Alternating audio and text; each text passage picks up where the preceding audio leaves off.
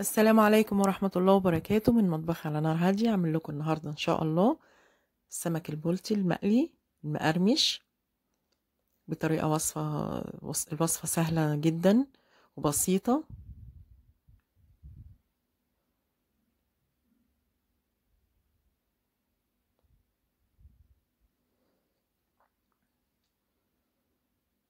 إن شاء الله الوصفة تعجبكم ولونه ذهبي.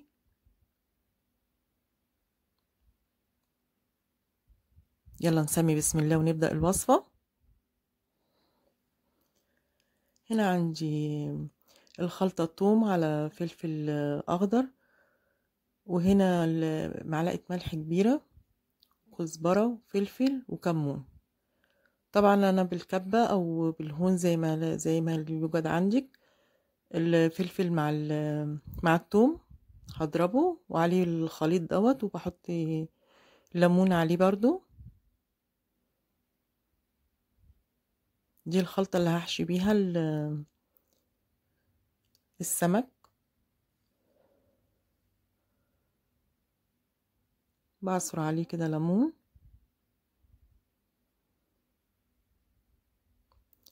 هو السمك ما بيتحطلوش الا فلفل وكمون و- وكزبرة بس ما بيتحطلوش أكتر من كده وليمون. والخل أصلا بيهري بيهري السمك فيا ريت ما, ما يتحطش. عايزة تغسليه بالخل ما فيش مشكلة لكن التتبيلة ما تحطيش فيها خل. هنا هجيب كده أشرحه كده من من على الجنبين. تشريحة كده واحدة عشان ال- السمكية من جوه تبقى واخدة الطعم.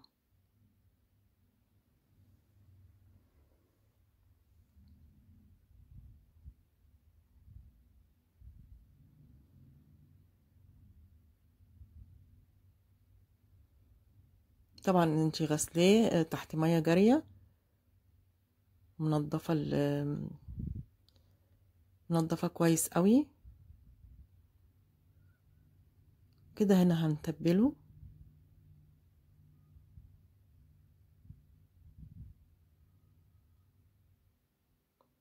أي تتبيلة آه، بتزودي الملح شوية بس علشان يعني الملح يبقى م...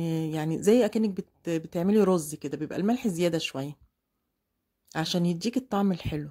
لكن انت لو ظبطت الملح يا دوب كده آه، في التتبيلة آه، بتلاقي ال- الحاجة عدمه ما بيديكيش الطعم الحلو. فهنا هنتبله كويس من بره ومن جوه.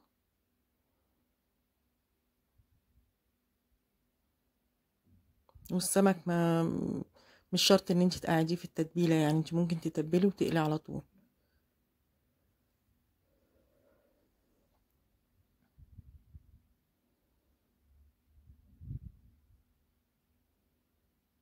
هندخل كده التتبيلة في السمكية مطرح ما أنا فتحتها كده من الجنب.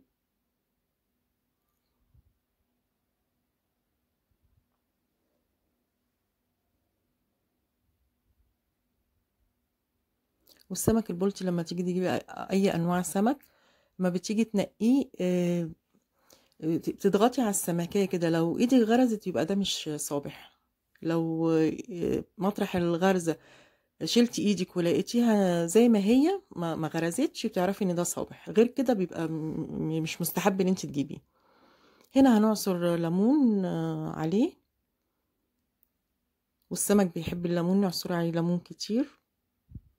بيديكي بيبقى اللحم بتاعه مسكر.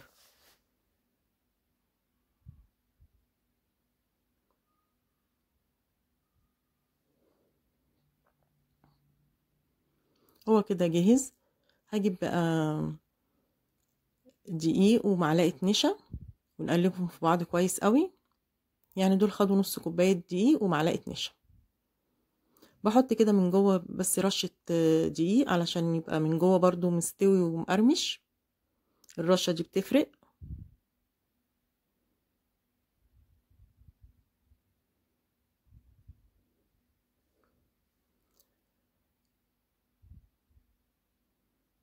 تمام كده. رشة دقيق من جوه كده زي ما أنتوا شايفين كده. وكده جاهز على إن هو يتقلي. هنا أنا عندي زيت سخن. طبعا إحنا متفقين إن الزيت لازم يكون سخن علشان يديكي القرمشة. هو السمك يعني إيه ما بياخدش سوا كتير.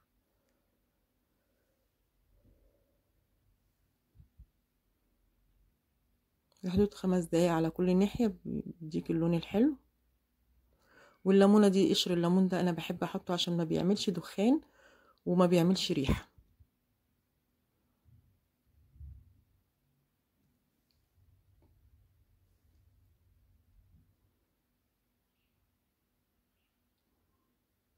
كده على الناحية التانية كده بالمنظر دوت.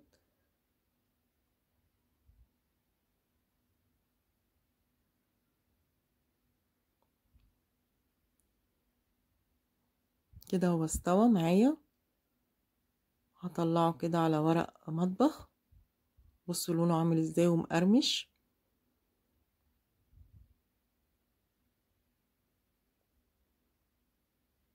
هنسيب بقى طبعا الزيت ياخد برضو يعني ما بنشيلش السمك وننزل السمك التاني وراه على طول. لا إحنا بنستنى شوية عشان درجة الحرارة ترجع زي الأول.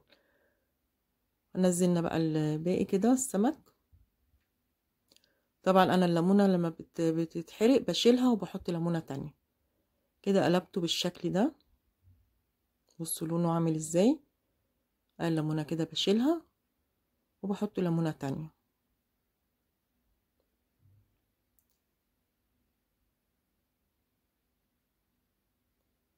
بتقلل معاك الدخان وبتقلل معاك يعني ما بتحسيش بأي ريحة بعد ما بتقلي.